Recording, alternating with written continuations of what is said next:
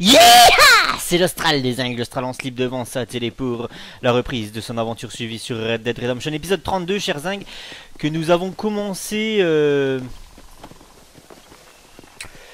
en terminant pas mal de défis, hein, puisque j'ai terminé... On va regarder ça, euh, ça je m'en fous. Euh, donc euh, le défi numéro 10 de, botaniste, euh, j'ai récolté 10 personnages violets, voilà, donc il ne me reste plus que la partie la plus difficile de la mission à, réaliser, c'est-à-dire obtenir deux plantes de chaque espèce. Donc il va falloir que je retourne au Mexique, mais ça tombe bien puisque le niveau 9 du défi Grand Chasseur me demande justement de retourner au Mexique à Ojo del Diablo pour aller tuer Khan qui veut, dire, tigre dans je ne sais plus quelle langue, peut-être bien de l'indien, je me rappelle plus. Euh, le jaguar légendaire.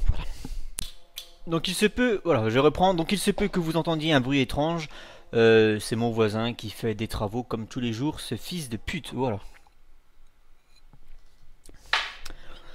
Euh, non mais là je suis une mauvaise humeur en fait faut savoir parce que autant moi je gueule quand je fais mes vidéos c'est vrai je le conçois que je suis pas forcément de tourpeau non plus comme, voisin le truc c'est que moi je m'arrange toujours pour faire mes vidéos en plein après-midi là il est 15h07 quoi je peux pas faire euh, voilà j'ai jamais enregistré le matin j'ai jamais enregistré le soir faut le savoir. Parce que j'ai du respect pour mon voisinage. Je vais pas faire chier les gens à 19h30 ou à 20h en gueulant IHA ou, euh, ou le, matin à 9h. Même si je sais que dans la loi, tu as le droit de faire du bordel dès les 9h et jusqu'à 22h, c'est ça. Dans la loi, tu as le droit de faire du bruit de 9h à 22h. Le problème, c'est qu'on s'en fout du texte de loi.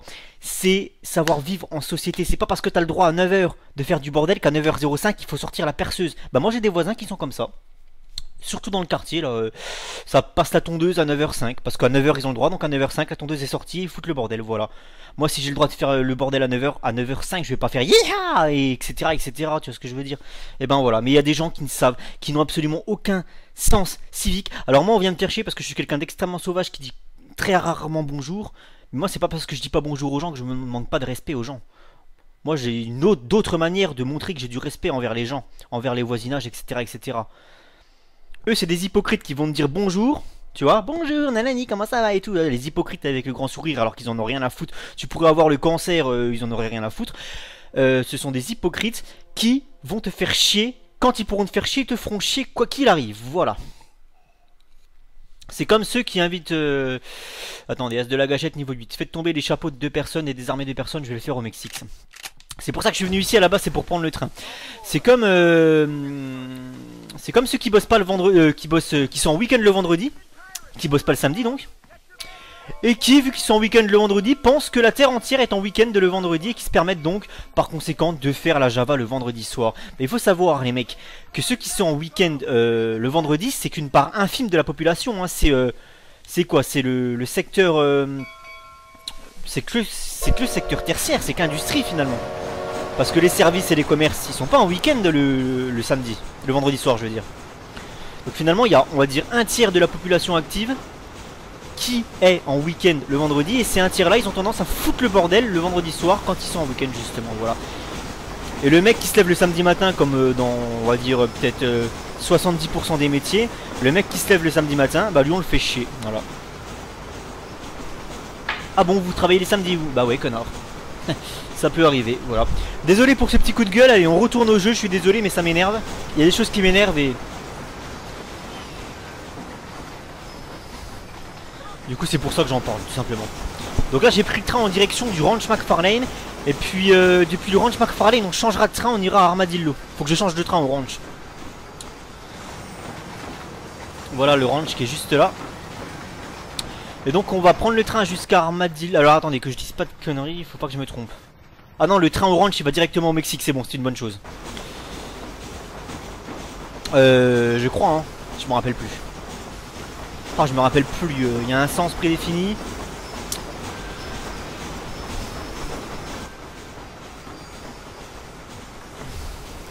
Toujours est-il que j'aime bien prendre le train, c'est quelque chose d'assez agréable à faire dans le jeu.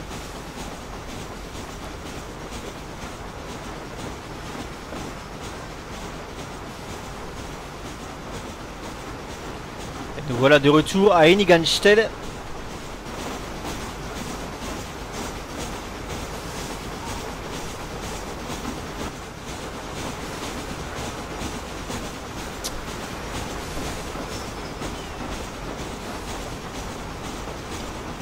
Alors vous avez vu que j'ai réalisé le défi euh, de tuer des, ours, euh, c'est combien? Un ours?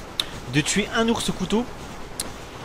Euh, c'est quelque chose d'assez difficile, hein. c'est pour ça d'ailleurs que c'est le niveau 9 du défi. Il y a une technique, en fait c'est assez difficile au début, mais en fait quand tu connais la technique, ça devient quelque chose de très facile à faire. La technique c'est bah déjà de prendre un cheval afin de faire spawn un ours, parce que les ours ils vont pas spawn forcément... Pourquoi il s'arrête là lui C'est bon il repart, j'ai eu peur. Donc prenez un cheval puis vous allez faire spawn un ours il spawn beaucoup plus facilement dans la partie enneigée de Toltris que dans la partie herbeuse, faut le savoir. Il y en a également dans la partie herbeuse, hein, il y en a même dans les Great Plains. Mais le meilleur spot d'ours, c'est dans la partie de neige euh, de Toltris vers la Nekotirok. C'est là-bas que vous aurez beaucoup plus de chances de trouver des ours. Donc vous prenez un cheval, vous faites très attention parce que les chevaux ont tendance à se faire faucher très facilement par les ours. Prenez un cheval, vous faites spawn un ours. Dès qu'il y a un ours qui spawn, faut toujours, première chose à faire, s'assurer qu'il n'y en ait pas un deuxième ou un troisième dans le secteur.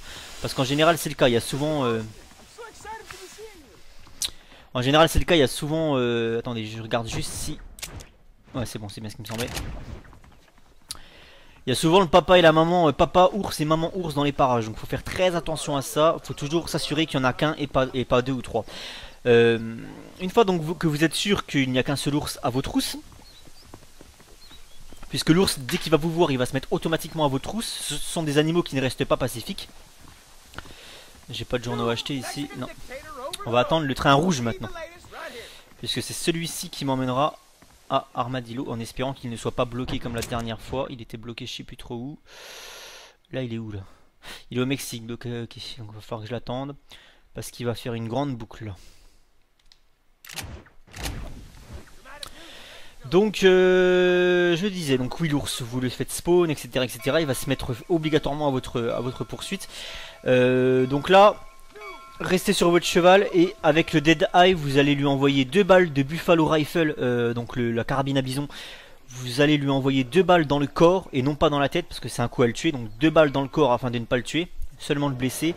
Et après vous allez équiper une carabine beaucoup moins puissante ou un revolver. Et vous allez euh, continuer à le fatiguer comme ça, le mieux c'est de lui envoyer une balle dans, dans chacune des deux pattes avant. Donc en tout, vous allez tirer quatre fois sur l'ours. Deux fois dans son ventre avec la carabine à bison et deux fois, euh, donc une fois dans chacune de ses deux pattes avant avec une arme de, petit calibre. Le but du jeu c'est de l'affaiblir et de lui enlever un maximum de PV.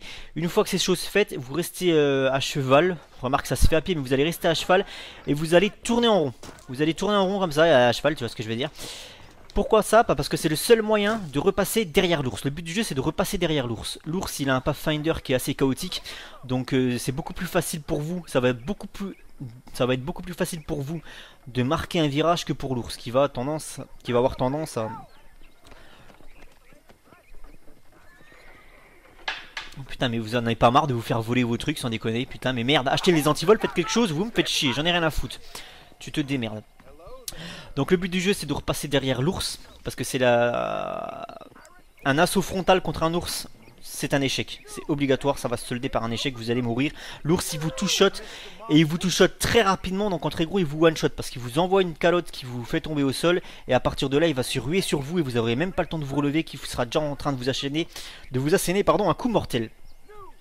Donc faites ce que je vous dis, euh, vous l'affaiblissez et ensuite vous tournez en rond en petit rond, en petit cercle, afin de repasser derrière lui. Vous pouvez même le faire à pied, il hein, faut le savoir. Hein. C'est beaucoup plus long, mais vous pouvez le faire à pied. Et une fois que vous êtes derrière lui, euh, c'est d'ailleurs ce que vous avez vu hein, au début de cette vidéo, une fois que vous êtes derrière lui, vous allez pouvoir lui asséner beaucoup de... Bah, des coups de couteau. Ça va être assez long parce que le truc c'est que l'ours a tendance à être beaucoup plus rapide que ce qu'on pense et il a tendance à... à, esquiver à chaque fois le coup de couteau. Donc ça va être très long. Des fois ça va vous demander beaucoup plus de... Ça va vous demander quelques minutes ce que vous avez vu d'ailleurs, moi j'en ai chié un petit peu, hein. je lui ai couru après, ça a été assez long et assez difficile à faire, mais bon, c'est le seul moyen. Et puis le fait de, l'affaiblir au, revolver, à l'arme à feu, ça va non seulement ça va lui enlever des PV, donc vous aurez beaucoup moins de coups de couteau à lui mettre euh, pour l'achever, déjà d'une, mais euh, de deux, c'est vrai que ça va également, dans un cas sur deux, alors je sais pas comment ça se fait, moi il y a des fois où ça marchait, des fois où ça marchait pas, dans un cas sur deux, l'ours eh ben, il va faire comme beaucoup d'animaux dans le jeu, c'est-à-dire qu'il va rebrousser chemin. Dans un cas sur deux, l'ours, quels que soient les dégâts que vous allez lui infliger, il va vous foncer dessus tête baissée, au CF des dégâts, jusqu'à la mort. Il va être en mode kamikaze. C'est l'ours taliban. Sinon, euh, sinon il y a des chances pour que, ben, au bout d'un moment, l'ours, il en est, il prenne peur et il se casse. Et donc, à partir de là, il va devenir comme les jaguars, comme les cougars, je veux dire. Quand les cougars vous tournent le dos pour vous fuir, là, c'est bon, c'est valide. Tu peux lui courir après, il te fera plus rien. Voilà.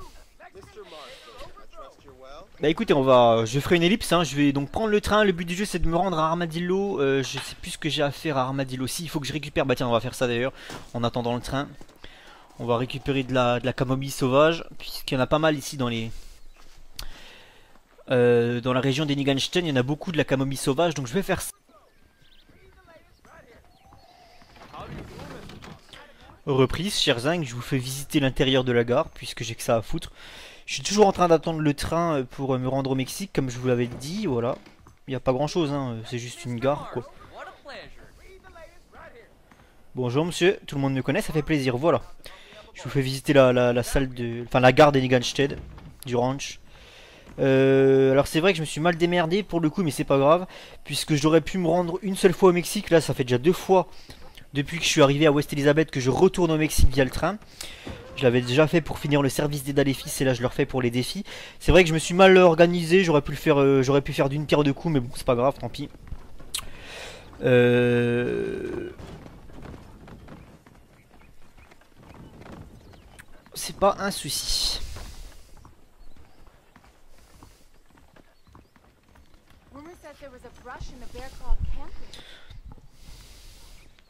Cigarette, monsieur, s'il vous plaît. Est-ce que vous auriez ça? Merci, c'est gentil.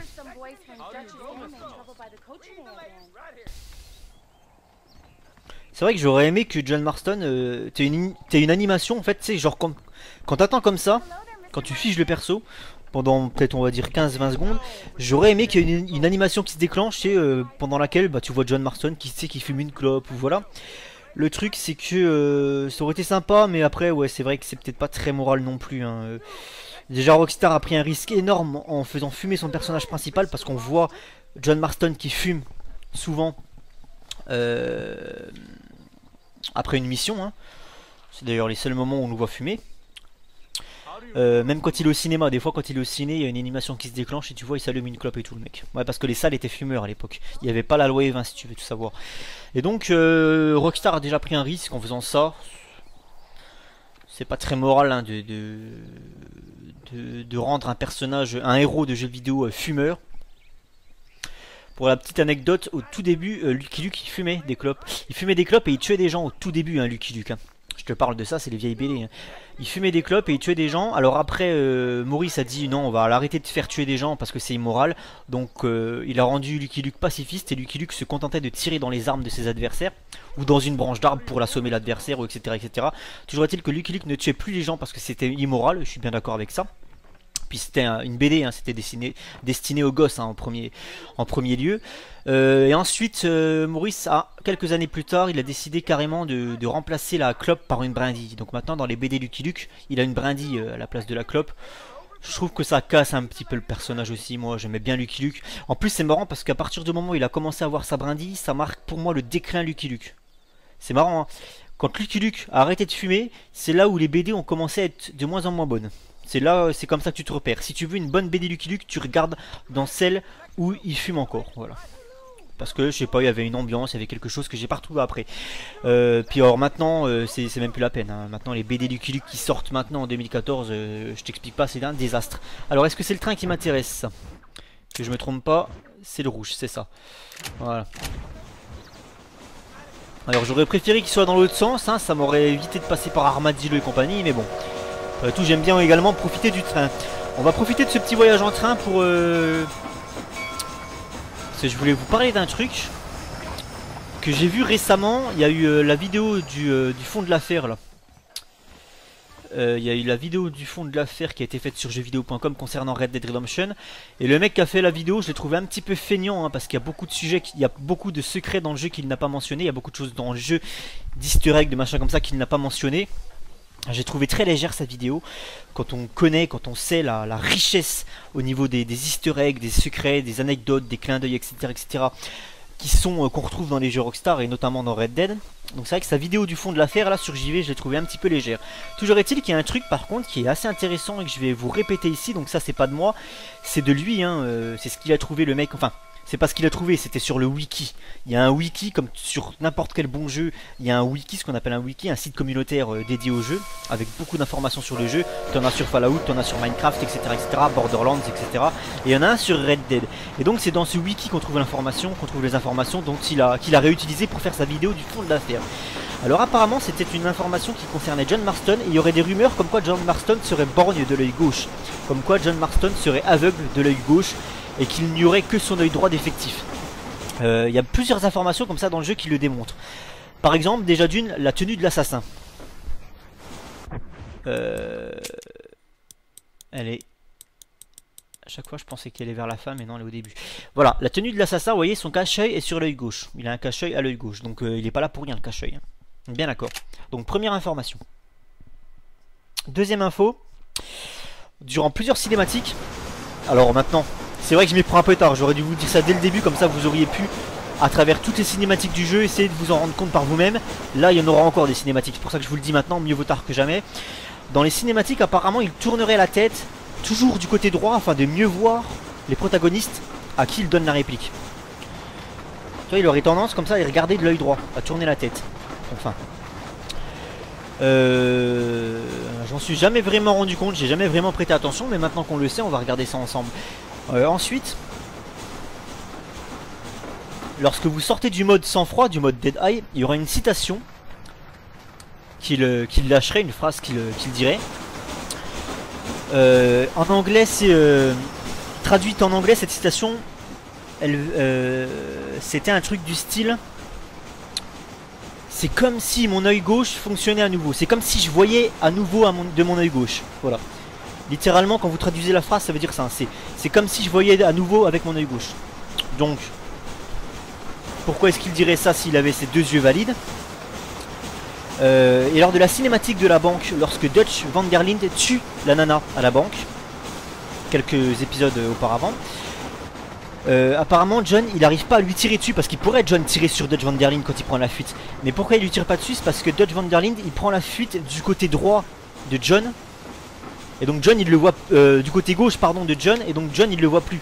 Parce qu'il voit que de l'œil droit, tu vois ce que je veux dire?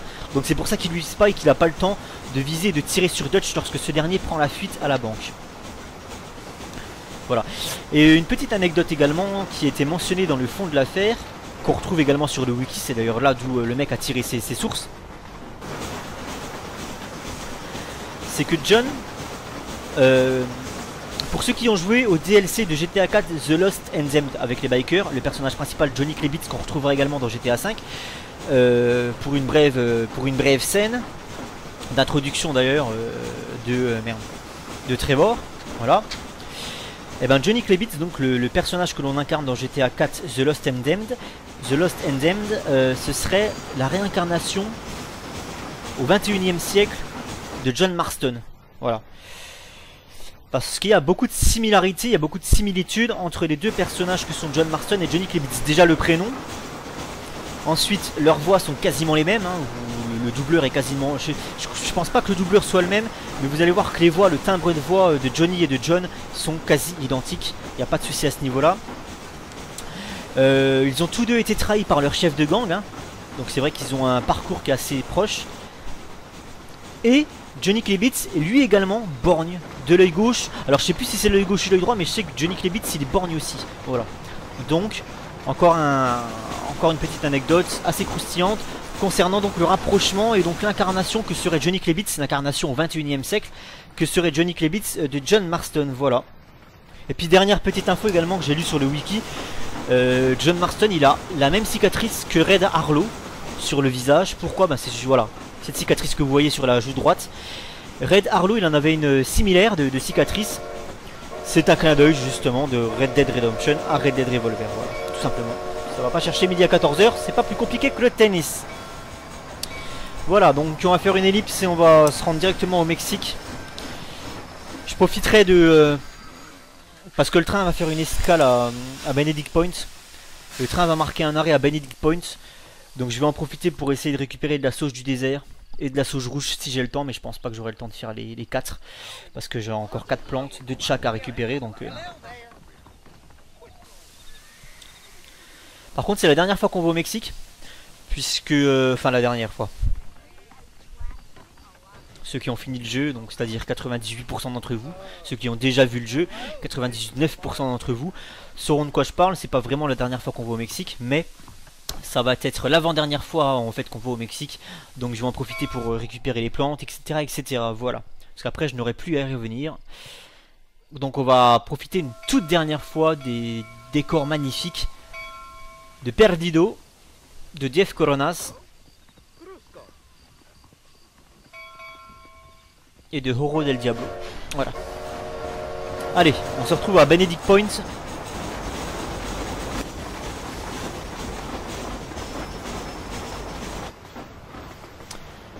Hop, on se lève.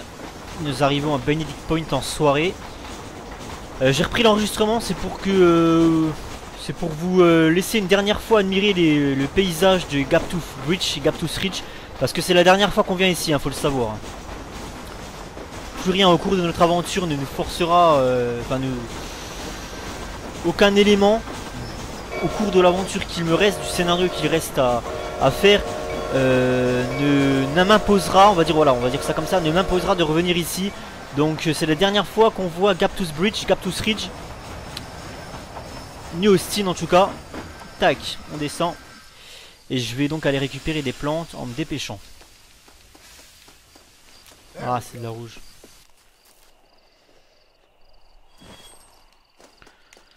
Bon bah j'aurais pas eu le temps de récupérer de la sauce du désert, c'est pas grave, je reviendrai en off de toute manière. Je me dépêche parce que là le train va redémarrer et il faut que je mette... Euh, fuck.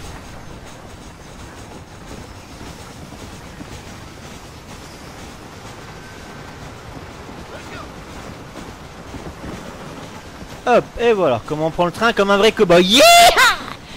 Voilà. Pour le RP, on n'aura qu'à dire que euh, Cisco, mon cheval, je l'ai mis dans le, dans le compartiment à chevaux. Voilà. Ah, quelque part, faut toujours garder une trame. Euh, allez, ferme ta gueule, Austral. Ah, du coup, j'ai pas réussi à récupérer de la sauce du désert.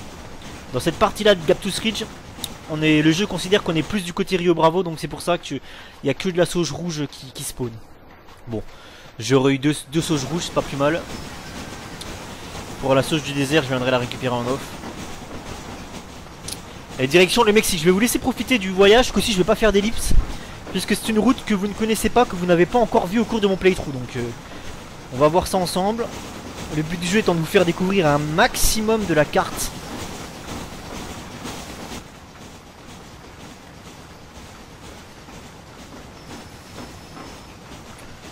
Il y a trois accès je crois au Mexique. Il y a Ramita de la Bahia, il y a le Butter Bridge tout au nord, il y a le ferry également, le ferry qu'on n'a pas pris, le ferry qu'on avait pris avec l'Irlandais au cours de l'aventure. Euh, là on peut le prendre, hein, il est effectif. Donc il y a 4 accès en tout et il y a ce pont là. Le Frontier, voilà, Frontiera Bridge, voilà. Frontiera Bridge, il y a 4 accès en tout et pour tout pour euh, se rendre au Mexique.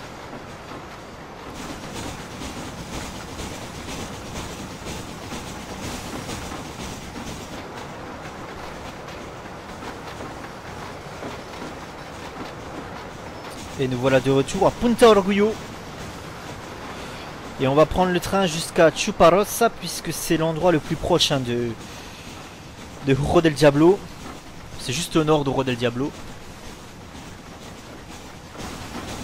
Mais je vais marquer quand même l'arrêt à... Le premier arrêt, ça devrait être euh, Las Hermanas. Ouais, c'est ça. Je vais quand même marquer l'arrêt à Las Sermana. Non, non, non, je dis, non, non, je dis connerie. La Sermana, c'est après Chuparosa. C'est entre la Casa Madrugada et Chuparosa. Donc euh, voilà, Chuparosa, première escale. Je vais marquer l'arrêt à Chuparosa afin d'aller récupérer. Euh, qu'est-ce qu'on trouve ici à Punta Orgullo euh, La figue de Barbarie, si je dis pas de conneries.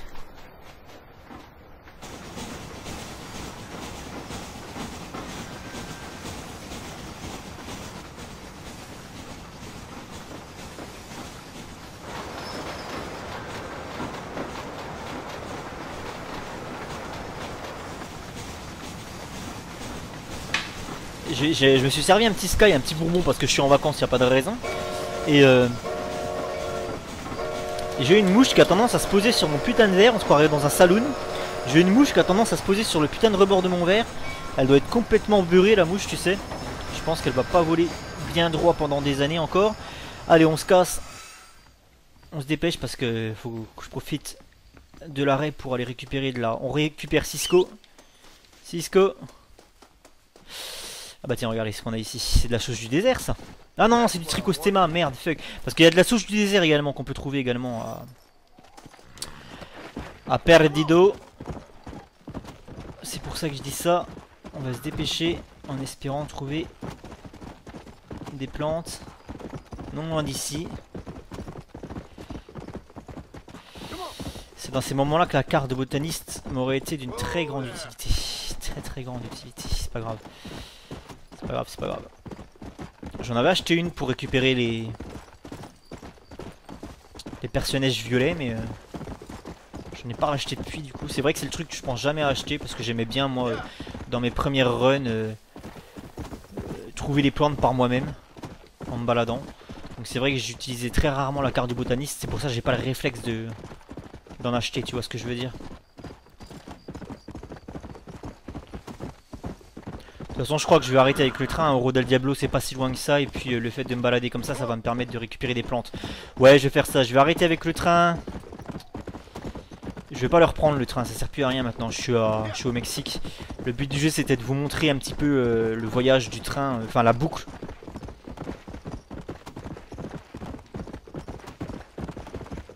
Euh, la boucle que, dessinait le, train en venant au Mexique, c'était le but du jeu. Maintenant que c'est fait, c'est fait.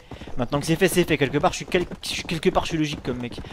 Et donc là, ce qu'on va faire, c'est qu'on va plutôt au del Diablo. Voilà, j'y suis, euh, j'y suis, j'y suis. Alors, il va que je fasse très attention, très très attention à ne pas me faire déglinguer par euh, par Cannes, le jaguar, puisqu'il s'agit en réalité d'un cougar, si mes souvenirs sont bons. Et il est redoutable, il est aussi redoutable qu'un cougar. Alors comment est-ce qu'il faut que je le tue? Est-ce qu'il y a une... Je crois pas, hein, il me semble pas qu'il y ait une... Une façon... Faut juste que je le tue, je crois. Et récupérer sa peau, tout simplement. Je fais ce que j'en veux, j'en fais ce que j'en veux. Je vais plutôt aller récupérer des plantes pour l'instant.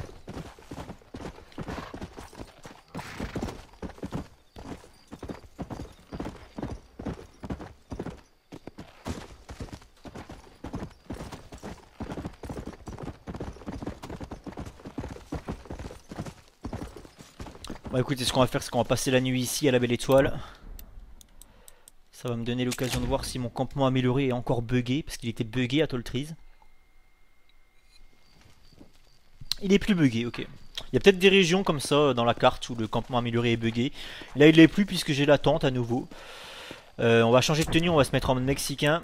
Et on va profiter un petit peu de la, tenue rebelle de Reyes qu'on n'a pas beaucoup porté puisque c'était la fin de la, du Mexique. Voilà, on se remet en mode mexicain puisqu'on est au Mexique. On a de la Corona là-bas, apparemment, de la bière avec une gamelle, avec une cafetière. On sauvegarde, on passe la nuit ici.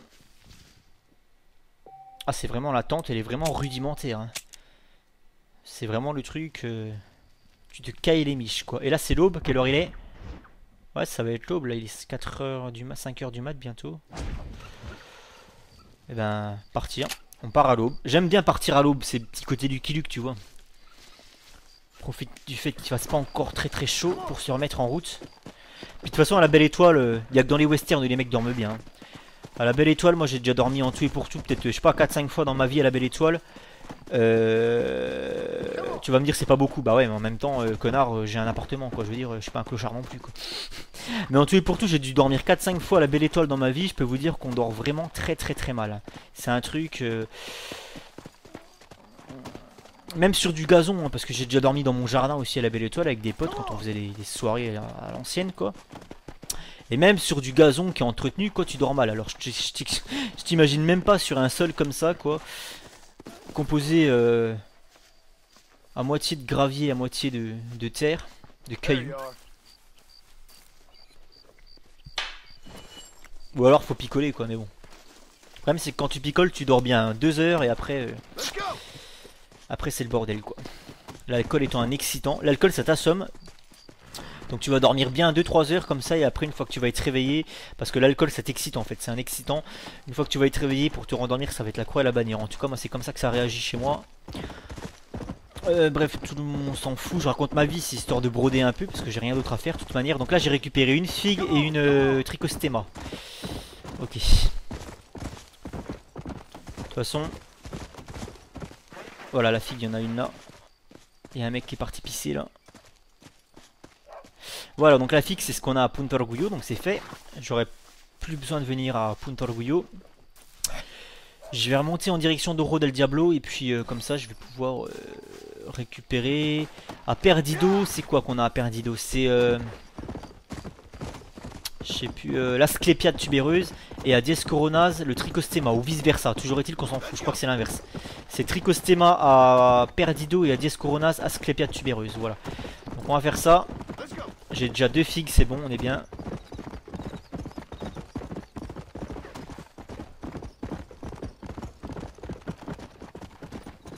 Et attention à Rodel Diablo puisqu'ici nous avons un jaguar légendaire donc on va pas prendre le cheval, j'ai pas envie qu'Isco meure dans notre souffrance. Et on va équiper pas le fusil à bison parce que j'ai envie de récupérer la peau du jaguar donc euh... Carabine et vente c'est vrai que c'est un truc que j'utilise pas souvent. Hein. Pourtant elle a l'air sympathique. On va essayer ça ma foi.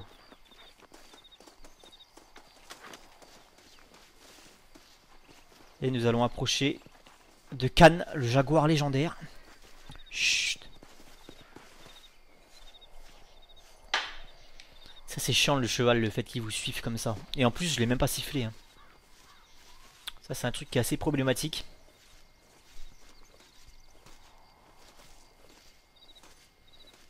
Parce que là le seul moyen de faire en sorte qu'il ne me suive plus le cheval. Parce que là il va me suivre. À partir du moment où vous, lui avez monté dessus, le cheval il vous... Euh, il vous suit, hein, donc euh, le meilleur moyen, le seul moyen, c'est pas le meilleur parce que, mais le seul moyen afin qu'il ne vous suive plus, c'est de lui envoyer une balle entre les deux yeux. Et merde, putain, ça me fait chier parce que ça, ça va. Déjà d'une, ça va me bouffer du sang-froid. Ça va me bouffer du sang-froid et en plus, ils sont où les autres? Ils sont là-bas en bas. S'ils viennent pas, je vais pas les alerter. Le but du jeu c'est de chasser Cannes et j'ai pas... Il est là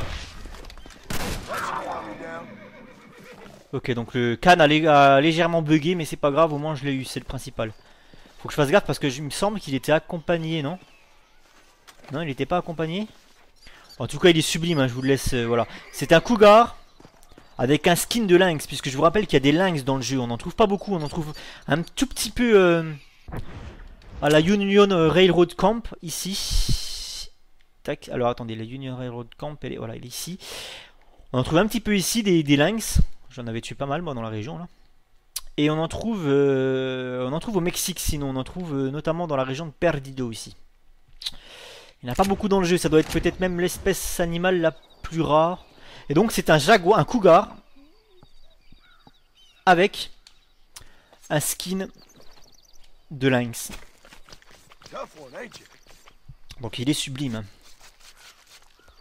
Extrêmement dangereux. Hein. Là, j'ai eu la chance qu'il ait bugué hein, parce qu'il m'avait attaqué dans le dos. Il faut savoir que, pareil, hein, ça a le comment dire, bah, ça les animations du cougar, c'est-à-dire que ça peut vous tuer très facilement. Donc j'ai eu vraiment de la chance qu'il m'attaque, euh, qu'il bug. Je sais pas s'il a bugué ou si, je sais pas. Mais moi, j'étais persuadé qu'il était accompagné, moi.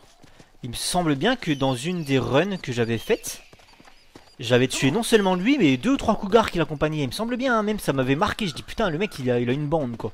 Il y avait deux trois cougars avec lui, il me semble bien. C'est même, même sûr, c'est même pas il me semble bien. Il me semble bien, non, c'est sûr et certain. Et là, non, apparemment, euh, c'était peut-être, euh, je sais pas, bizarre. D'autant plus que des cougars ici, il n'y en a pas normalement.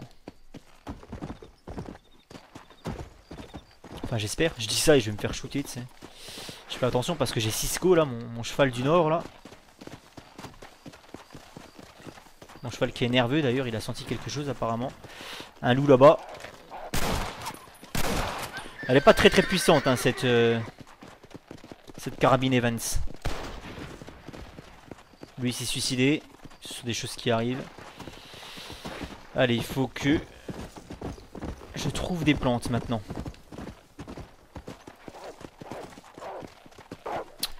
Putain mais c'est pas vrai, mais foutez-moi là. Et voilà, j'arrive. Non, non, mon cheval Vas-y, putain Ah, putain, c'est de la cargne, ces loups.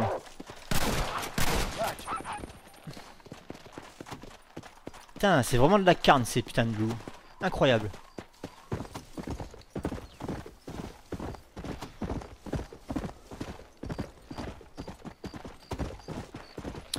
Alors, je suis à Perdido bientôt.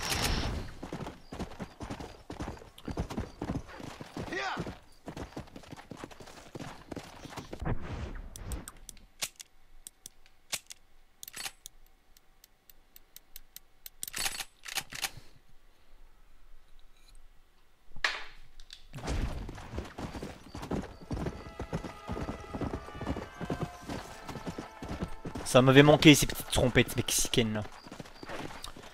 Ça m'avait fort manqué. Pas vous?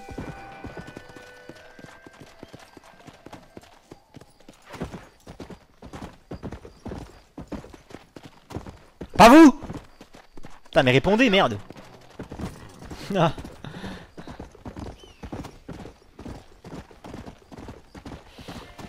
Bon, est-ce qu'il y a des plantes ici dans cette région hostile et inhospitalière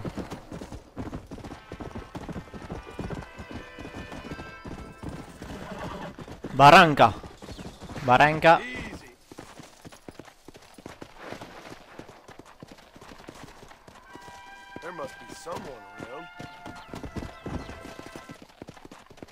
De la figue. Fuck, fuck, fuck, fuck. Et là en face c'est quoi? Uh -huh. Tricostema, bah voilà. Deuxième Tricostema récupéré. Je vais maintenant me diriger au nord, à Dief Coronas. C'est quand même la classe d'avoir un cheval noir. C'est mon côté trop dark, hein, j'en ai un. J'ai un côté dark moi aussi. Un côté kikou dark. Le noir étant ma deuxième couleur préférée, c'est vrai que... C'est vraiment la classe un cheval noir comme ça je trouve.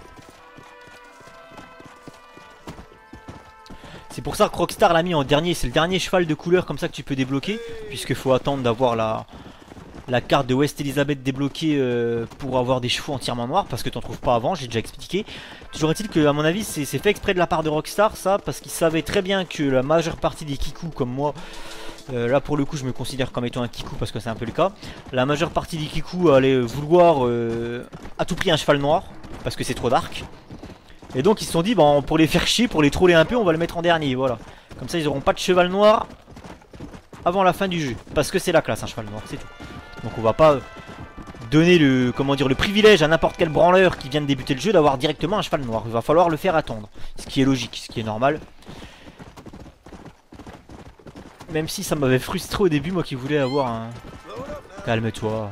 Un cheval noir d'entrée de jeu. On va tester un petit peu la vitesse de pointe de ce trotteur américain. La voie ferrée c'est une excellente piste pour eux.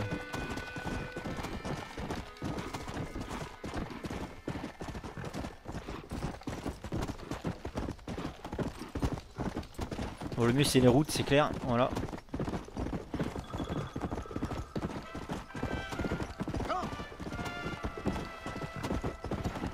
Il va extrêmement vite, hein. il va beaucoup plus vite que Blanco ou que blondin, ça se voit vraiment. Bon, c'est pas non plus une différence énorme, hein, mais, euh, mais ça se voit quand même. Surtout qu'avant, mon dernier cheval, on va dire que ça se voit pas par rapport à Blondin, Blondin qui était un cheval déjà extrêmement euh, véloce. Ça se voit pas forcément par rapport à Blondin, mais moi, il faut savoir que mon cheval avant lui, avant Cisco, c'était Blanco, un demi-sang hongrois, qui sont les chevaux les plus résistants, mais pas les plus rapides. Et donc là, tu vois vraiment la différence. Quand tu passes d'un demi-sang hongrois à un trotteur américain, tu sens vraiment la différence hein, de vitesse. Par contre, bien évidemment, il n'a pas la même robustesse de chez Robustaflex. Voilà. Ah, c'est une marque de cafetière le truc. Attendez, deux plantes ici, deux plantes. Deux plantes. Des coyotes, mais c'est pas bien grave ça. Je la vois pas la plante là.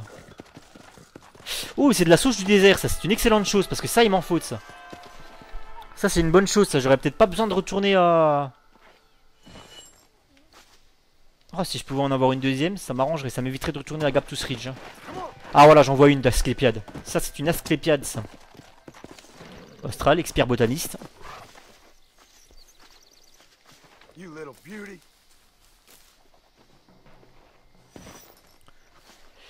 Ok, ouais, c'est vrai qu'ici il y a de la sauge du désert, donc je vais m'éterniser un peu ici. Encore une Asclépiade et une sauge.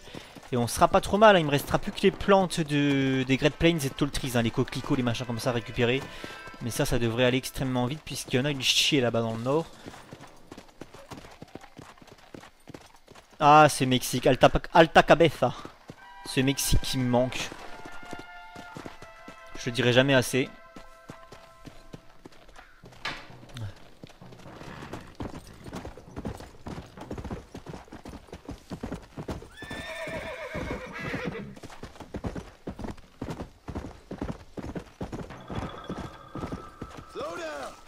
Une Asclepiade. Allez, il manque plus qu'une Gaptus... Euh, qu'une... Gas... Qu'une Gaptus Rich. Il manque plus qu'une euh, qu'une sauge du désert et on est valide. Je pourrais retourner au Canada. Allez, espérons qu'il y en ait une dans les parages. Non, va te faire foutre. Va te faire foutre, je t'ai dit. C'est quoi ça? C'est un buisson de merde, ça. Et on me demande pas de... de...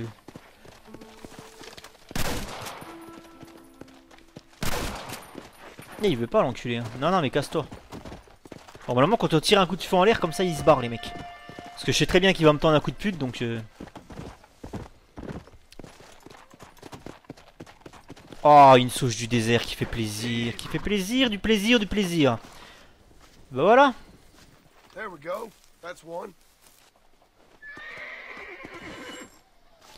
Apparemment, il y aura un serpent dans les parages. Je vais essayer où est-ce qu'il est, Faut pas que je marche dessus parce que ça peut être dangereux. Tu sais, les crotales comme ça, les serpents en sonnette. Tiens, il y a, il y a Blanco. Un demi-sang en gros en liberté, c'est magnifique. Blanco. Bon bah voilà, bah écoutez, ce qu'on va faire, c'est qu'on va retourner. Je vais aller voir à la Casa Madrugada s'il n'y a pas le train, des fois, sait-on jamais. Ça se pourrait bien vu que j'ai passé la nuit, ce qui a accéléré euh, de 6 heures le temps. Avec un peu de sens, avec un peu de chance, à la Casa Madrugada, il y aura un train qui m'y attendra et qui me ramènera illico presto au Ranch McFarlane. Où est-ce qu'il en est le train d'ailleurs? Je le vois pas. Ah, il est Armadillo. Ouais, non, bah j'ai meilleur temps de, rentrer par mes propres moyens. Hop, ici, ici, ici, ici. J'ai meilleur temps, ou alors peut-être que j'attends une nuit à la Casa Madrugada. Non, allez, hop, ce que je fais, c'est que je rentre au Canada. Retour dans le Grand Nord après cette brève excursion sous le soleil de Mexico. Mexico. Mexico. Le soleil est tout là-haut. La la la la la la la la la la la ferme ta gueule. Reprise, chers zinc, je me suis arrêté à Stillwater Creek je revenais du Mexique, hein, j'ai emprunté le Butter Bridge qui est ici, et là j'ai retourné dans les Great Plains, et je me suis arrêté à Stillwater Creek ici, puisque dans les défis de chasse, on me demande à présent de tuer un sanglier légendaire du nom de Gordo, qui se trouve justement à Stillwater Creek, un lieu où on tendance à spawn assez facilement. Alors attention par contre, je vais descendre de mon cheval, j'ai pas envie qu'il me tue mon cheval, parce qu'il va être plutôt robuste, hein, cette... D'ailleurs on va équiper peut-être quelque chose d'autre. Voilà le fusil à double canon ça me paraît peut-être plus légitime pour tuer un sanglier. Quoique je peux quand même essayer de lui envoyer une balle entre les deux yeux. Peut-être que ce sera peut-être plus simple. Une balle dans les dans dans l'œil. S'il arrête de bouger.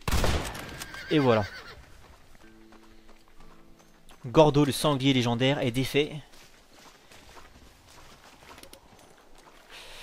C'est marrant parce que ça me rappelle beaucoup de... Ça me rappelle un petit peu euh, Gun. J'ai l'impression que Rockstar se sont quand même pas mal inspirés du jeu vidéo Gun. Qui sortait en 2005, hein, 5 ans avant. Pour tout ce qui est les défis, parce que le défi de chasse on le retrouve déjà dans Gun, faut le savoir. On a un défi poker, on a un défi chasse, on a un défi euh, convoi de bétail dans Gun, qui est mon préféré d'ailleurs, parce que c'est vraiment quelque chose de, génial. De toute façon, Gun, je, je l'ai dit, j'avais fait une vidéo de présentation sur Gun, mais ça ne suffira pas. Gun, j'ai vraiment envie de vous présenter ce jeu, donc je le ferai sur ma chaîne en playthrough. Il y a beaucoup moins de gens qui connaissent Gun que, ceux qui ne connaissent Red Dead Redemption, donc ça sera peut-être plus intéressant pour moi à vous montrer, bien que Red Dead Redemption est mon jeu préféré et que je m'éclate vraiment à faire ce playthrough. Hein. Faut savoir que Red Dead, c'est vraiment le playthrough sur lequel je me suis quasiment le plus éclaté sur toute ma chaîne. Euh, parce que je le connais, parce que j'aime ça, tu vois, voilà. Donc là, on va se rendre à Nekotirok qui a Aurora Basin et on va terminer les défis de chasse dans cet épisode, comme ça ça sera fait. Alors il n'y aura pas une mission de fête dans cet épisode, mais j'aurai fait euh, tous les défis et ça sera une bonne chose de fête. Cet épisode là il m'aura servi à, à écouler tous les défis.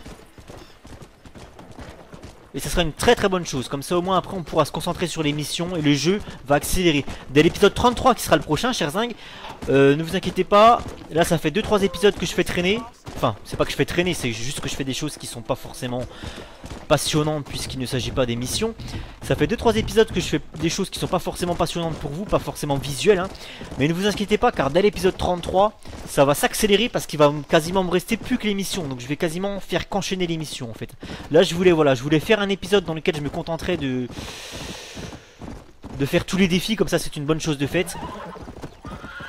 fait. Puis c'est également ce qui va me permettre de débloquer la tenue de légende de l'Ouest, hein, qui est une tenue assez sympathique. Hein, voilà.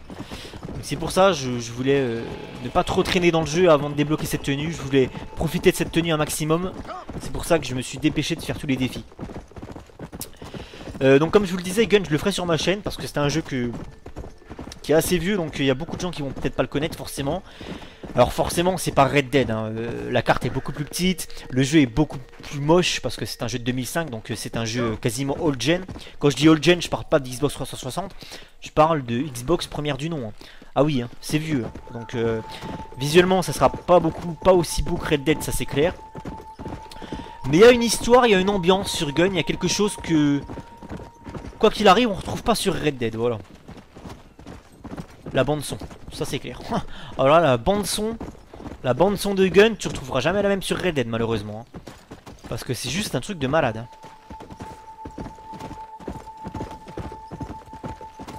Il y avait un nombre de cougars assez choquant ici, la dernière fois que je me suis baladé.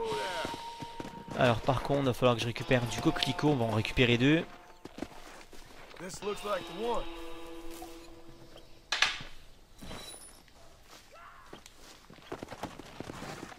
Fasse attention aux cougars parce qu'ici en général... Il y a de la groseille aussi à récupérer.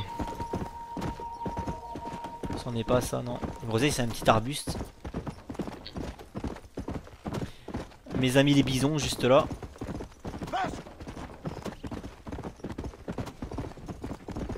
Superbe.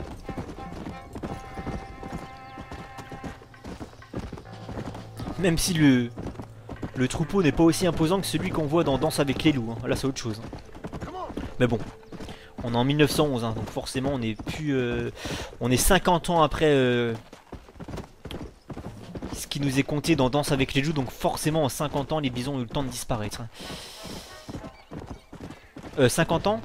Si, c'est ça, 50 ans, ouais, 50 ans, puisque Danse avec les loups, euh, c'est un film qui se passe pendant la guerre de sécession, qui a commencé en 1861 et qui a pris fin en 1865. Donc ça fait quasiment, ouais, quasiment 50 piges hein, que ce qui est relaté dans Danse avec les loups est terminé.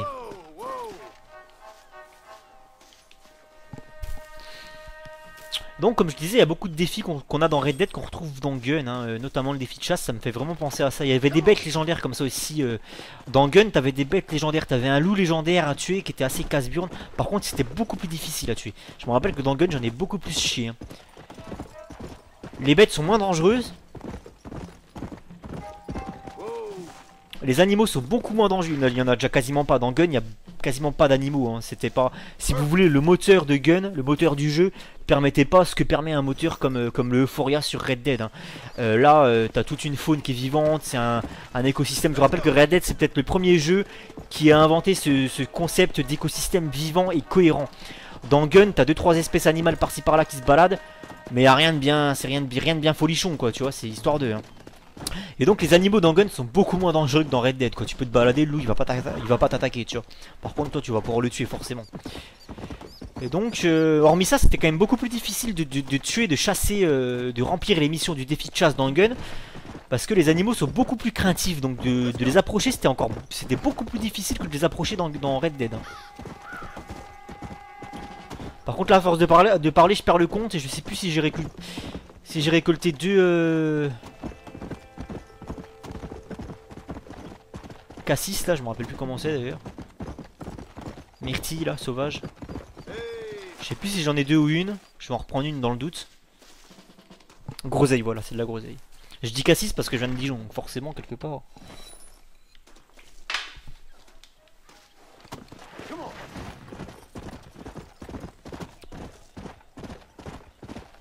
Dans Gun, avais, enfin, c'était pas vraiment des défis. Hein. L'appellation défi, elle est, comment dire, elle est propre Red Dead. Hein. Dans Gun, les trucs de chasse, de poker et tout, c'était euh, des services, des petits métiers, quoi. Hein. Des petits boulots. Euh, ouais, mais je m'en fous. Moi, j'ai pas besoin de... moi, j'ai pas besoin d'un branc comme toi. Voilà, ça c'est fait. Ramasse. Et donc, euh, dans Gun, c'était plus des petits métiers qu'autre chose. Et t'avais un métier, t'avais le Pony Express qui était. Euh... Bah, c'est le Pony Express, quoi. Tu, sais pas ce que c'est que le Pony Express euh, ouvre un putain de manuel d'histoire, quoi. Allez, te casse pas, je vais le faire pour toi. Allez, tu ouvres ton manuel d'histoire au chapitre 18, page 60. 1860, date de création du Pony Express, fondé par William H. Russell, Alexander Majors et William B. Waddell. Que des inconnus dont on se contrefout finalement. Alors il s'agit d'un service de distribution rapide du courrier effectif entre le 3 avril 1860 et le mois d'octobre 1861. Très court hein, donc. Euh, traversant les grandes plaines, les rocheuses et la Sierra Nevada de Saint-Joseph dans le Missouri à Sacramento en Californie, ce service a été fondé pour faire évoluer le pays et sortir l'Ouest de son isolement vis-à-vis de l'Est, qui était bien civilisé. Il hein. euh, faut savoir que le, Pony Express est apparu avant le télégraphe, et ça a permis aux lettres de voyager en une dizaine de jours seulement entre les deux océans, hein, entre les deux côtes, Pacifique et Atlantique. Sa création fut inspirée par un Québécois, François-Xavier Aubry, qui effectua en 1848 le trajet de Santa Fe, Nouveau-Mexique, à Independence, Missouri, en 5 jours seulement. Il faut savoir qu'à cette époque, en 1845, l'acheminement d'un message vers la côte ouest se faisait généralement par bateau et pouvait prendre jusqu'à 6 mois. T'imagines le bordel pour déclarer des impôts, toi. 12 ans plus tard, 15 euh, ans plus tard, pardon, en 1860, la transmission d'un courrier entre le Missouri et le Texas prenait entre 25 et 30 jours. Alors pourquoi est-ce qu'on a créé le Pony Express? Ben, la raison principale, c'est que euh, la Californie, elle voulait rentrer dans l'Union en fait. Euh, et elle a collaboré justement avec l'Union hein, avant la guerre de sécession. Et donc il a été vital pour elle, vital pour l'État de la Californie, euh, déjà d'une pour sortir de l'isolement, mais également pour mieux collaborer avec l'Union, euh, de bénéficier d'une meilleure efficacité en termes de correspondance et de communication avec les États qui sont à l'Est. Après sa création le 3 avril 1860, le premier trajet vers l'ouest a été accompli en 10 jours, 7 heures et 45 minutes, et le premier dans l'autre sens, vers l'est, en 11 jours et 12 heures. Entre Saint-Joseph et Sacramento, on comptait 160 relais qui jalonnaient le parcours tous les 5 à 20 miles, donc ça fait 8 à 30 km. Et il faut savoir que euh, ça c'était la distance que pouvait parcourir d'une traite un cheval au galop en fait, voilà. Entre 5 et 20 miles. Et donc à chaque relais on changeait de cheval parmi les 400 qui étaient mis à disposition par l'ensemble de la société sur le territoire américain. Euh, des chevaux d'ailleurs qui étaient sélectionnés parmi les meilleures unités de cavalerie hein, de l'armée américaine.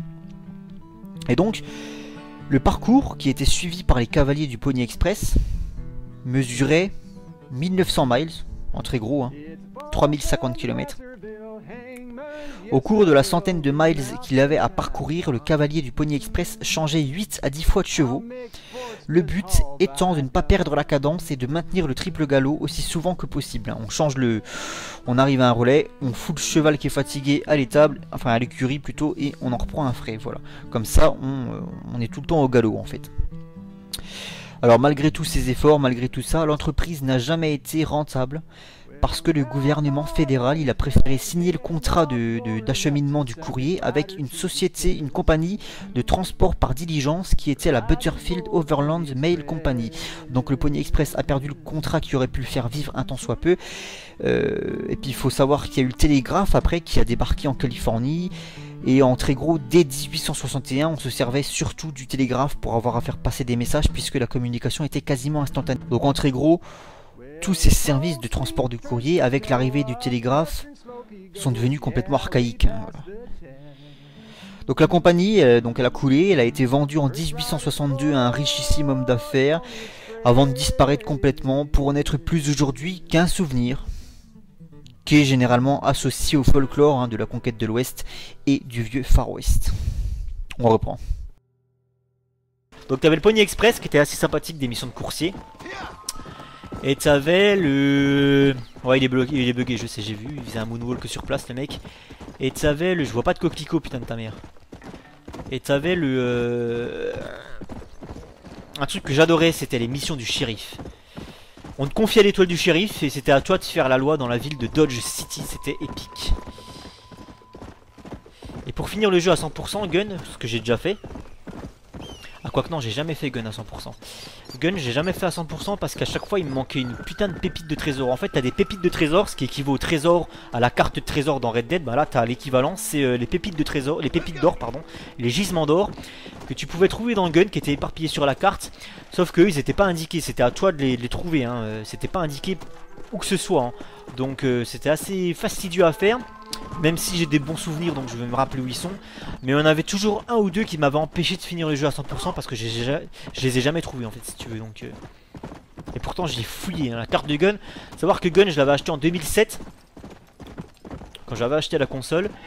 Et donc il s'est passé 3 ans pendant lesquels Gun était le seul jeu de cowboy en environnement ouvert que j'avais. Donc c'est vous dire si Gun, je lui ai pété la gueule au jeu. Je l'ai retourné, je l'ai violé le jeu.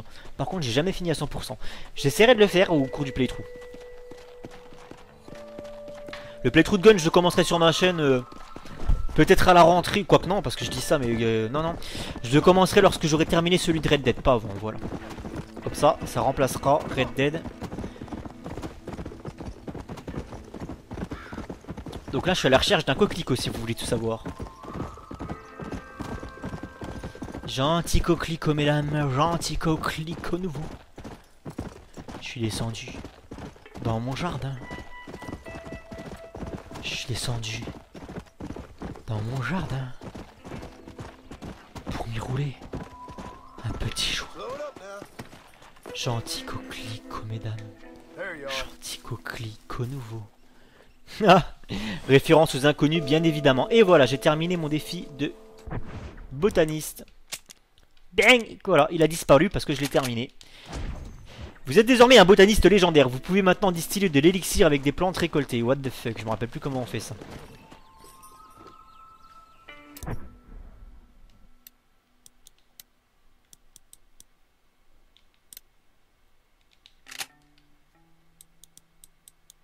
Je me rappelle plus comment on fait pour... eux. En fait, ça va permettre de, euh, de se fabriquer des trucs, pour te remettre de la vie, enfin des, des potions de, soins, quoi, des trucs comme ça. Le problème, c'est que je sais plus comment on fait, en fait. je sais plus du tout, ça, c'est un truc. J'ai jamais fait, en fait, si vous voulez. Si vous voulez tout savoir, c'est un truc que je n'ai jamais fait. Carte trésor, de toute façon, elle est... Ouais. J'ai terminé aussi en off, hein, enfin en off. Je l'ai filmé, je crois. Je me rappelle plus, mais il me semble que je l'ai filmé. Euh, le dernier trésor qui se trouve au sommet de Nekotirok. J'aurais pu faire d'une pierre deux coups aller tuer le l'ours légendaire de Nekotirok en même temps que... Mais bon. C'est pas grave.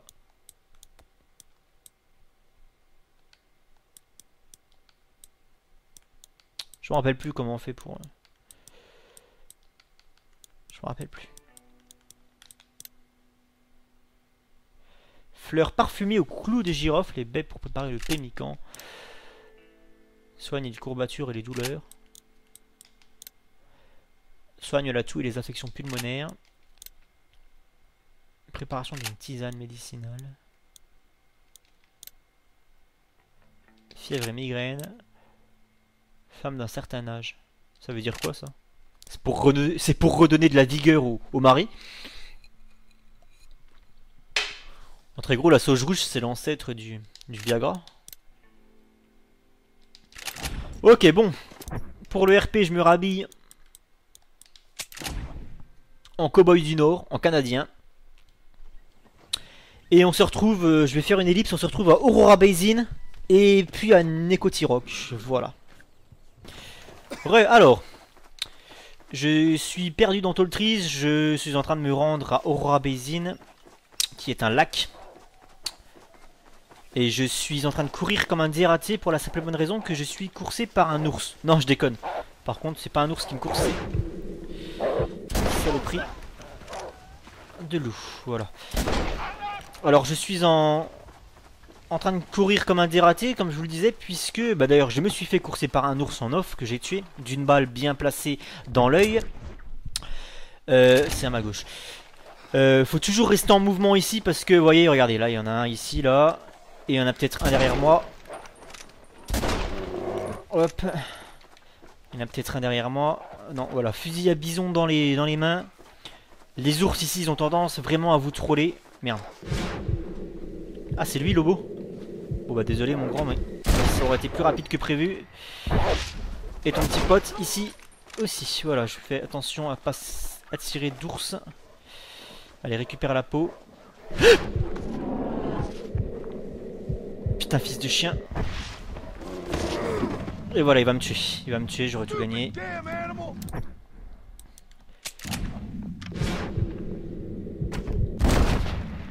Ouf, c'était lui ou moi là Voilà, c'est ce que je vous disais. Les ours, ils ont tendance à vous troller ici. Ils spawnent très facilement les ours, hein. c'est un truc de ouf. Hein. Il y a un spawn qui est assez... Euh, à part quand vous les cherchez, c'est comme je dis, à chaque fois que tu cherches un truc dans le jeu, t'en trouves pas. C'est euh, les moufettes, c'est des ratons laveurs, c'est l'exemple le plus flagrant quoi. Tout le long du jeu, quand tu te balades à New Austin, à Gaptus Ridge, à Chula Springs, à Eniganstead, tu vois que ça. Regardez-moi ça Tu vois que ça, et euh... Là, les ours, j'en cherche pas parce que bon, euh, moi j'ai déjà tué euh, tous les ours qu'il me fallait pour mes défis. Et regardez C'est comme les cougars, ça Oula, il est pas mort. S'il est mort, ok. Bon, je vais pas m'amuser à tout dépecer parce que j'ai pas fini sinon. Je vais plutôt... Euh, bon, bah je vais pas sauvegarder parce qu'il y a une sauvegarde de fait de toute manière. Auto. Je vais me rendre à Nekotirok toujours au pas de course parce que, comme je vous l'ai dit, hein, si vous marchez ici, vous êtes mort. Donc, toujours au pas de course. C'est le secret de la réussite quand vous êtes lâché dans Tall Trees. Je vais équiper le Cattleman. Parce que s'il me tire dessus, voilà. Alors il me tire dessus, je vais en profiter. Je vais essayer de remplir mon défi. Où est l'autre? Il n'y en a pas un deuxième là? Fuck, fuck, fuck, fuck, fuck, fuck, fuck. Oui, il n'y en a pas un deuxième là. T'es tout seul? Non, ils sont là, voilà. Le but du jeu, c'est de remplir mon défi d'as de la gâchette. Allez. Bon, attendez, parce que là, j'ai plus de j'ai plus de sang-froid, ça va pas le faire. Alors. Sans les tuer. Ça va pas être évident. Ça. Ah là là, ça va être très difficile à faire. Je ne pense pas que ça ait marché. Ça n'a pas marché. Comme je vous le dis, j'ai un défi, il euh, n'y a pas d'ours. Ce que je vais faire, c'est que je vais récupérer un de leurs chevaux. Ça c'est la petite technique pour euh, ne pas mettre son cheval en danger ici à Toltrees. Euh, faut que je monte un éco tiroc, ok, faut que je prenne la route. Euh, ouais, j'ai un défi qui me demande de, je me rappelle plus très bien, c'est désarmer et décoiffer de... chaque fois je vais dans les tenues, je sais pas pourquoi. faites tomber les chapeaux de deux personnes et désarmer deux personnes. Hein. C'est assez difficile à faire. C'est pour ça d'ailleurs que c'est niveau 8 seulement, merde. Putain, je viens de me rendre compte qu'en fait, en as de la gâchette, j'avais pas beaucoup avancé. Hein. Vous savez pourquoi j'ai pas beaucoup avancé en as de la gâchette? Parce que au Mexique, j'en ai pas fait un seul. Parce qu'au Mexique, vous avez rien pour euh, faire ce défi de l'as de la gâchette, c'est pour ça. Ah, j'ai localisé Bruma. Apparemment, il est déjà en train de me foncer dessus. Ouais, c'est ça, il est déjà en train de me foncer dessus. Il est déjà en train de me foncer dessus, Bruma. C'est bizarre parce que normalement, il est tout au-dessus, lui. Il a une cicatrice à l'œil. On va lui tirer. Ça ne suffit pas. Voilà, un deuxième. Il n'y en a pas un dans mon dos. C'est bon, c'est valide. Voilà, donc, défi de chasse, c'est terminé.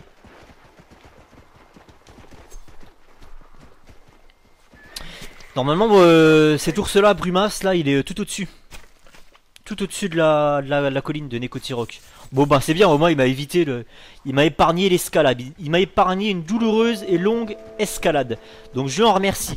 Voilà donc chers Zing, et eh ben écoutez ça va marquer la fin de cet épisode numéro 32 si je vous dis pas de conneries. Je vais enchaîner sur le 33 directement parce que j'ai envie de jouer, je suis chaud, j'ai du whisky. Donc euh, faites tomber les chapeaux de deux personnes et désarmer deux personnes. Donc as de la gâchette, j'en suis qu'au niveau 8 malheureusement. Alors par contre j'ai déjà réussi à moitié le service, c'est bien ça. C'est pas en même temps, ça sert à rien de le faire en même temps. Moi j'étais persuadé que c'était... Mais il me semble, peut-être niveau 9 ou 10, il y a un truc de ouf à faire. Je crois que c'est désarmer 5 personnes d'affilée ou euh, en un seul mode sans froid ou quoi. Il y a un truc qui est assez, assez casse-burne à faire, je m'en rappelle de ça. Et j'en suis qu'au niveau 8, ça fait chier ça. Ouais, comme je vous le disais, l'as de la gâchette, le problème c'est que c'est un défi qui est mal foutu parce que t'en as 5 à faire à New Austin. Au Mexique, t'as rien. Enfin, ceux de New Austin, tu peux les faire au Mexique, c'est pas ça le truc. C'est que euh, à partir du défi numéro 5 ou 6, déjà on te demande déjà des trucs qui se trouvent euh, à, à. Enfin, dans la dernière carte du jeu. C'est-à-dire que t'es très vite bloqué au niveau au défi le défi de l'as de la gâchette, c'est le premier sur lequel t'es bloqué dans le jeu parce qu'il faut avancer dans le scénario en fait. Voilà, bah écoutez, ce qu'on va faire, c'est qu'on va monter un campement avant de sauvegarder ou alors on va se casser au triple galop de cette putain de région hostile et une hospitalière. Ça sera peut-être plus simple. Alors par contre, est-ce que j'ai gagné quelque chose là avec mon défi de chasse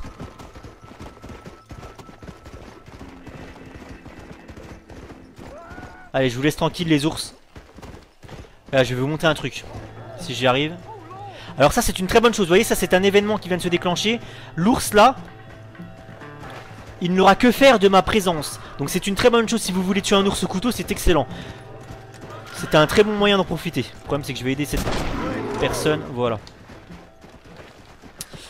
Euh, c'est un très bon moyen d'en profiter, ça, le fait que l'ours soit... Euh, soit occupé à courser un PNJ comme ça. Alors par contre voilà c'est ce que je voulais vous montrer. Oh putain il y en a deux. Attendez je vais déjà en éliminer un parce que sinon ça va être la croix et la bannière à faire. Voilà. Alors C'est ce que je voulais vous montrer. Le but du jeu c'est de Vous voyez tourner en rond comme ça et vous repassez derrière. Pour le tuer au couteau je parle hein, sinon ça sert à rien hein. Pour le tuer au couteau. Voilà. Là vous êtes derrière là vous pouvez y aller. Vous pouvez sauter de votre cheval Mais toujours l'affaiblir avant parce que là je vais pas lui faire de dégâts. Donc toujours sans lui tirer dans la tête. Toujours moi ce que je fais c'est vraiment que je l'affaiblis avant. En lui tirant dans le bide comme as En équipant une petite arme Et en lui tirant Dans les paluches Sans lui tirer dans la tête. Voilà. Et encore une ça devrait passer. Ah, Les ours sont très robustes hein, donc vous pouvez y aller y a pas de souci Tac et après Si je meurs c'est pas grave hein, j'aurai la J'ai ma sauvegarde auto qui s'est faite de toute manière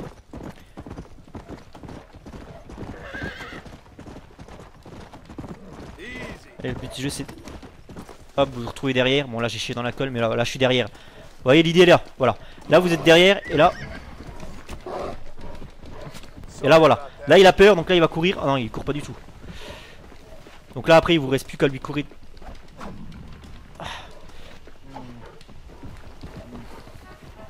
Ah c'est pas évident, j'ai pas dit que c'était facile. Hein.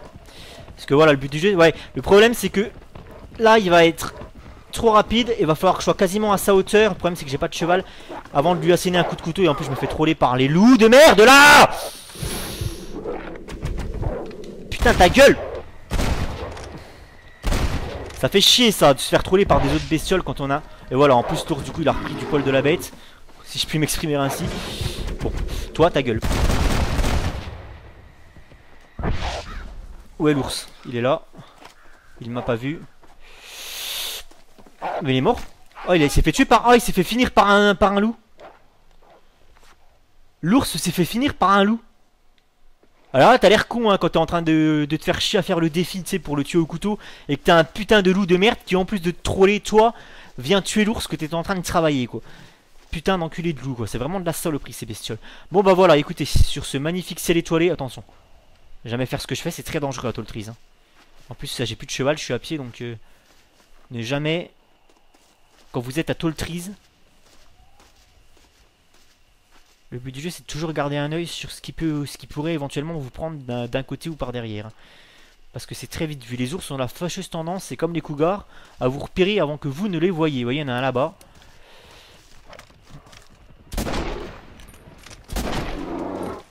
Faut pas se louper. Bon bah voilà, j'ai pas pu le faire parce que du coup je me suis fait troller par une saloperie de... Alors des saloperies de loups, mais en très gros l'idée là, hein, pour tuer un, un, loup, un ours pardon, au couteau, je vais y arriver. Et ici il y a du sanglier qui va venir me troll aussi, donc euh, l'idée c'est de... Oh putain mais c'est pas vrai, mais Toltris, voilà c'est pas... Toltris c'est un truc de ouf quoi. Toltris c'est un truc de ouf quoi, c'est pour les masochistes de toute façon. C'est une carte que moi j'aime pas du tout parce que... En plus ça, ça va pas suffire à le tuer, et par contre lui il va me tuer. Oh Oh c'est skill Tac médicament, comme ça au moins tu me tues pas. Par contre tu m'as pas tué mais presque.